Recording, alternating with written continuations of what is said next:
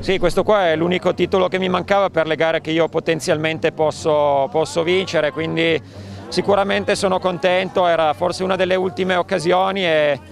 spiace per il percorso, stamattina sinceramente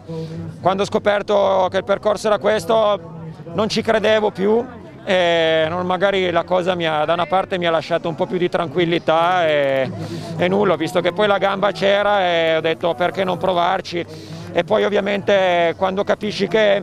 su un terreno che non è adatto al tuo riesci a essere con gente che in quel momento è, è favorita e sulla carta molto più forte di te, ovviamente la grinta sale, la cattiveria agonistica anche ed è poi quella che serve